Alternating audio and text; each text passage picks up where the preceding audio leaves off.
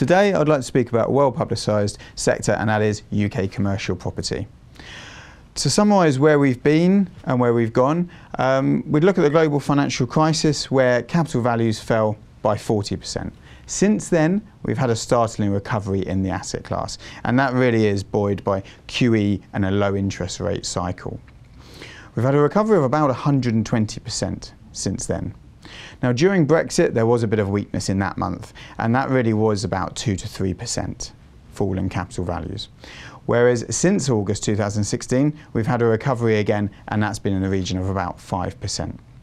I think a notable factor that we've seen recently is how much the UK property fund managers running retail funds have actually increased their cash allocation recently.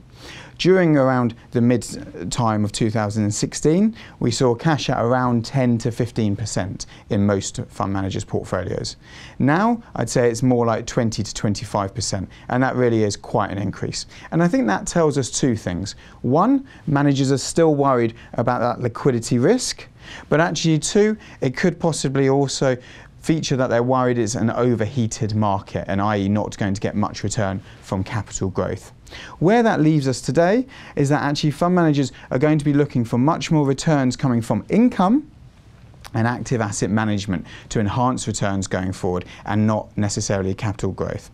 And therefore, I think I'd align that with investor expectations that they too should also not expect a lot of capital growth coming from the sector, but actually more in line with an income objective.